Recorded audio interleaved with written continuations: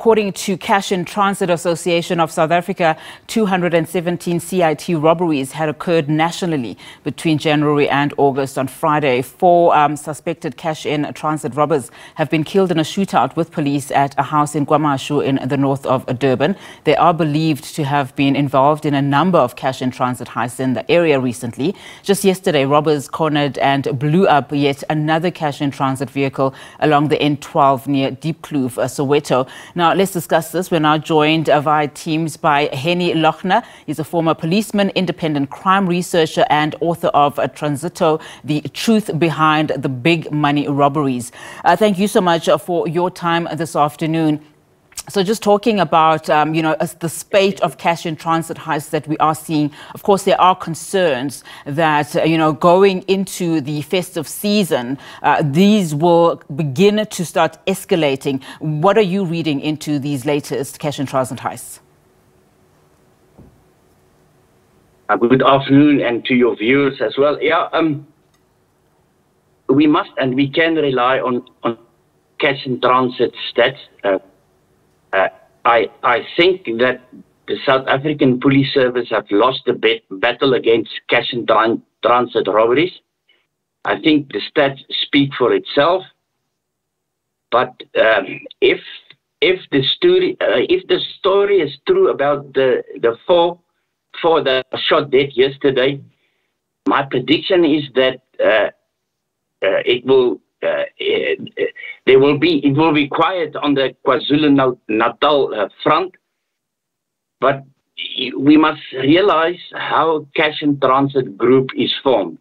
If we do not realize that, you will not be able to to prevent cash and transit robberies. We must we must understand that certain crimes can be prevented by uh, proactive and visible policing, but certain crimes cannot. It, it relies on information and intelligence, and cash and transit robberies falls into that category. Unfortunately, um, uh, uh, they have uh, they have lost the battle. Uh, yeah, what if you do understand how these people form? I think then you will be able to infiltrate and prevent these type of crimes. But unfortunately, they have lost the battle. Mm. Stat speaks for itself. Now, by that very assertion, uh, then, uh, Mr. Lochner, and to answer my question of earlier, are we then likely to see more cash in transit heists going into the festive season, the busiest time of the year for South Africans? And how will the SAPS or other law enforcement agencies be able, able to handle that? Yeah, yeah it, it's a good question. Taking into consideration what happened at Hoedspruit and now these four that's been shot dead, uh, the, they will, uh, it will uh, decrease, but it will pick up during the festival season. That is a, that is a fact. And the one in in the one incident yesterday, uh, that's a clear indication uh, what they are going to do. They plan. We must realize these people plan. That's why they say they are uh, executing it in military precision. Uh, it's because they plan. There will definitely be a rise, but it all depends on crime intelligence. If they are doing their job and uh, arrest people, then uh, then there will uh, be a decrease. But I doubt that. Mm.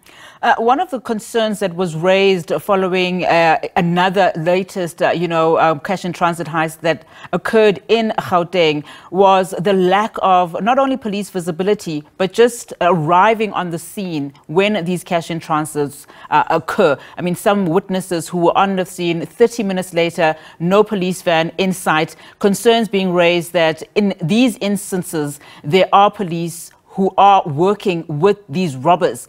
Uh, in your crime research, uh, what are some of your uh, indications in terms of how true that is? That, that, that's a fact that, that, it, that is true. There will always be somebody from the criminal justice system involved in, the, in these plannings.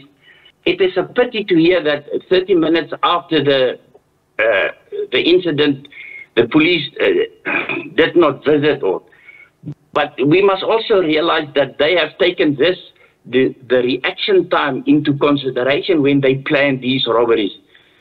Yeah, and, and the people that's looting, that's stealing the money uh, on the crime scene, that was also taken into consideration.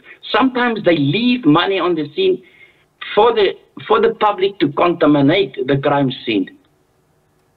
Uh, let's talk about, you know, just some of the trends that you have seen. Uh, you talk, of course, of uh, statistics that do not lie. They, of course, tell us where we are going in terms of the trajectory of uh, cash in transit heists. Uh, in as far as intelligence is concerned, what can police do better? Because uh, one of the indications is that, um, you know, when you talk about these kinds of robberies, they will always be in some form or other, you know, a bigger party at play uh, in as far as a kingpin is concerned? Okay, I'm going. I'm coming back to my previous com comment. We must understand how a group is formed. Uh, there is there is not a kingpin. The leader is being elected through, or is is appointed by the group during the planning stage.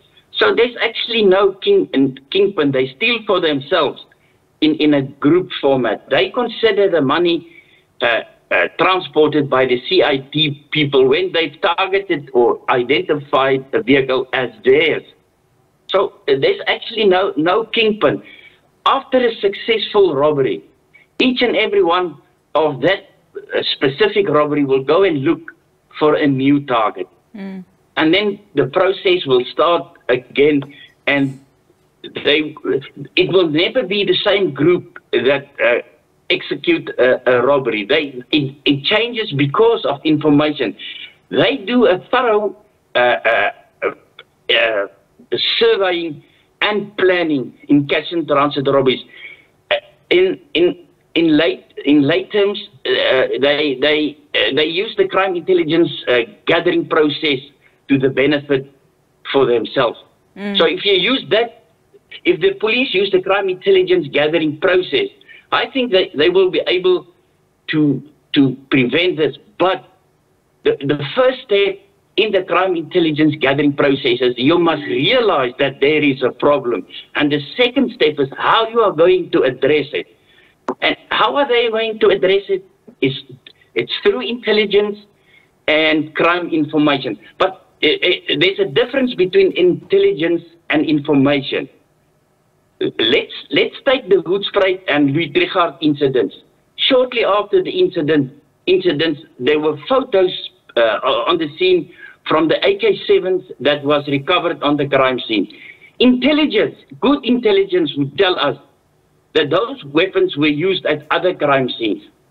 So they, yeah, they do not have crime intelligence or, or and information.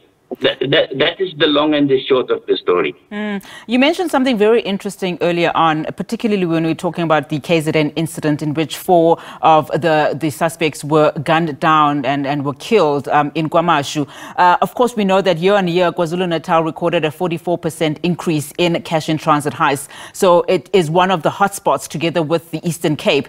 So in this likelihood and with the stats that we know at hand, uh, where are they likely to move to next? You mentioned that given this incident, it was a success for the police, um, you know, to have killed four of, of these suspects. Where will they then be targeting next? Is that part of the intel that the police would then have to have on hand? Because uh, you earlier said that they would lie low in KZN.